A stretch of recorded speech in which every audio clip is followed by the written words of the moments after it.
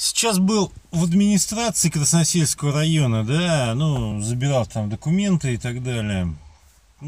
31 декабря 2019 года, да, ну и, соответственно, так как э, с людьми там общался, там люди, в принципе, достаточно много адекватных, ну и отношения, в принципе, нормальные, человеческие, да, но такое замечание никто из тех вот во время, ну, друг другу поздравляли, да, там новогодние, никто не сказал, что следующий год будет лучше. Говорит, э, пожелать...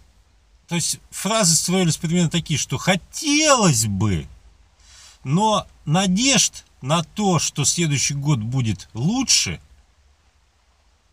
там в плане чего-то, не выразил ни один человек. То есть Представляете, в какую ситуацию прекрасную мы попали, что даже работники администрации не выражают никаких положительных эмоций, да, то есть в виде планов и уверенности в завтрашнем дне. То есть, в принципе, мы подошли к очень интересной черте. А под чьим чутким руководством оно приведено туда, ну, задайте себе вопрос сами.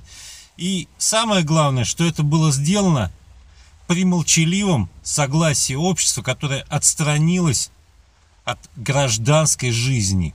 То есть самый мирный и законный, который, на мой взгляд, они должны были заниматься.